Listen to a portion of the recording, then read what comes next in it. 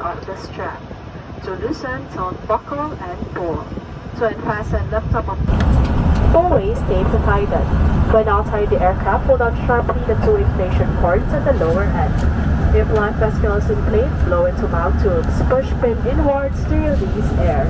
Do not inflate your life vest inside the aircraft. The lamp will automatically activate when the battery is immersed in water. The emergency exits are clearly marked throughout the cabin, to you. These exits may be behind you. In case of power loss or smoke in the cabin, emergency lights and path markings will lead you to these exits during an evacuation. For further information, please read the study the safety card found in the seat pocket in front of you. In preparation for takeoff, please ensure that your seatbelts are securely fastened. Seat backs in upright position. Large electronic devices like laptops and tablets stowed in your seat pockets window shades open and your tray table stowed. Once again, welcome to Philippine Airlines.